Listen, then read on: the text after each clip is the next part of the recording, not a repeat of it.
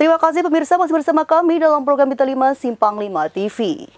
Pemirsa, tumbuhkan kembali minat baca dan menulis di lingkungan rumah tahanan negara Kabupaten Kudus.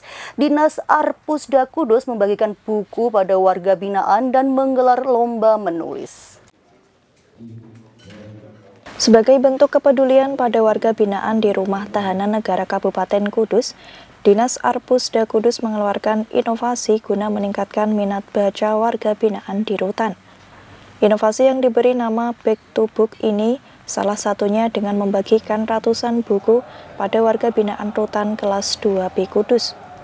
Buku yang dibagikan mulai dari buku bacaan, buku pendidikan umum, pendidikan agama, pendidikan teknik, dan buku yang bermanfaat untuk menambah wawasan dan menggugah minat baca warga binaan. Tidak hanya didorong untuk gemar membaca, warga binaan rutan juga didorong untuk menulis atau merangkum hasil bacaannya dan bagi penulis terbaik akan mendapatkan penghargaan dari Kepala Dinas Arpusda Kudus. Dengan adanya program Back to Book di rutan kelas 2B Kudus, disambut oleh Kepala Rutan. Menurut Solihin, gemar membaca bagian dari kegiatan rekreasi warga binaan untuk mengisi waktu. Dengan adanya pemberian ratusan buku bacaan sangat bermanfaat bagi warga binaan yang saat ini bukunya sudah lama.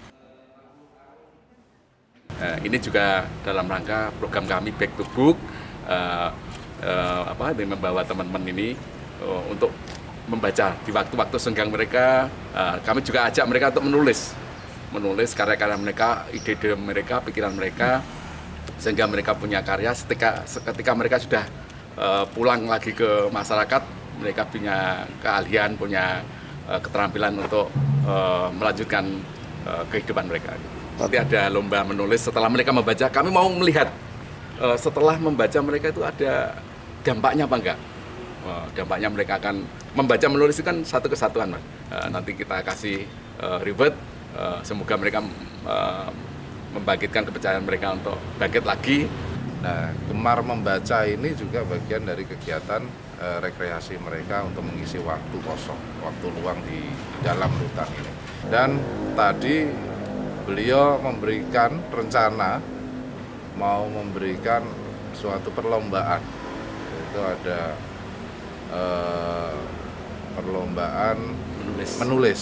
Nah, dari perlombaan menulis ini secara otomatis nanti warga binaan akan tertantang dan mendorong mereka untuk menjadi gemar membaca.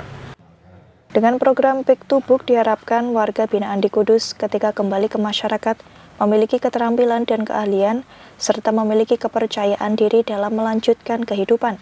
Seperti yang diketahui di Rutan Kudus saat ini menampung 189 warga binaan, mulai dari napi maupun tahanan, 46 di antaranya merupakan perempuan.